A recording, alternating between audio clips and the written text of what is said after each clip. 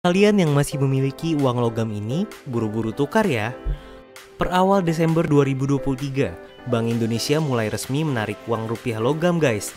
Ada tiga jenis logam yang akan ditarik, yaitu 500 rupiah tahun emisi 1991 yang bertuliskan melati, 1000 rupiah dengan tahun emisi 1993 yang bergambar kelapa sawit, dan 500 rupiah tahun emisi 1997 yang bergambar bunga melati. Bank Indonesia bakal memberikan waktu penukaran hingga 1 Desember 2033. Sebab jika sudah mencapai batas waktu namun belum ditukar, uang tersebut nantinya tak akan berlaku lagi sebagai pembayaran yang sah guys.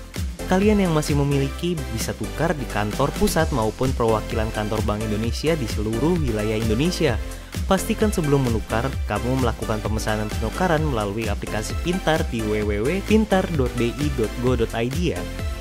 Hingga kini, Bank Indonesia telah menarik dan mencabut 40 berbagai pecahan uang, baik kertas maupun logam. Yuk guys, jangan lupa ditukar sebelum tanggal 1 Desember 2033 ya. Share informasi ini ke teman kalian.